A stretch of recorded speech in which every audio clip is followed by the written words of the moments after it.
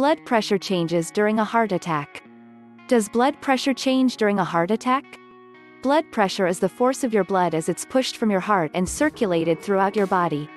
During a heart attack, the blood flow to a portion of your heart is blocked. Sometimes, this can lead to your blood pressure decreasing. In some people, there may be little change to your blood pressure at all. In other cases, there may be an increase in blood pressure. Any blood pressure changes that may occur during a heart attack are unpredictable, so doctors generally don't use them as a sign of a heart attack. While there could be changes in your blood pressure during a heart attack, other types of heart attack symptoms are much more pronounced. Increases and decreases in blood pressure during a heart attack. Blood pressure is measured by evaluating the pressure that blood flowing through your arteries exerts on the walls of those arteries. During a heart attack, blood flow to part of your heart muscle is restricted or cut off, often because a blood clot blocks an artery. Without the necessary blood supply, the affected portion of your heart does not get the oxygen it needs to function properly. Decreases. Sometimes, blood pressure can decrease during a heart attack. Low blood pressure is also known as hypotension. Low blood pressure during a heart attack can be due to a few factors. Your heart pumps less blood because its tissue is damaged.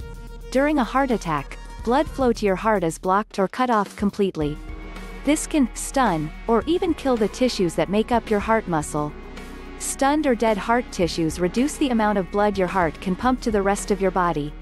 In response to pain, the pain from a heart attack can trigger a vasovagal response in some people. A vasovagal response is your nervous system's reaction to a trigger like extreme stress or pain. It causes a drop in blood pressure and can lead to fainting.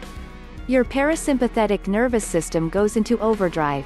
Your parasympathetic nervous system, PNS, is responsible for your body's resting state, in which your blood pressure is lowered. A heart attack can cause your PNS to go into overdrive, decreasing your blood pressure. Increases. Low blood pressure alone isn't an indication of a heart attack, since not everyone will experience a decrease in blood pressure during a heart attack. In some people, a heart attack may not cause any significant changes in blood pressure at all. Others may even experience an increase in blood pressure, also known as hypertension, during a heart attack.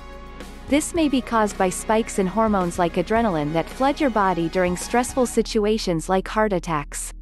A heart attack can also cause your sympathetic nervous system, SNS, to go into overdrive, leading to blood pressure increases. Your SNS is responsible for your fight or flight reactions. Is a change in blood pressure a sign of a heart attack?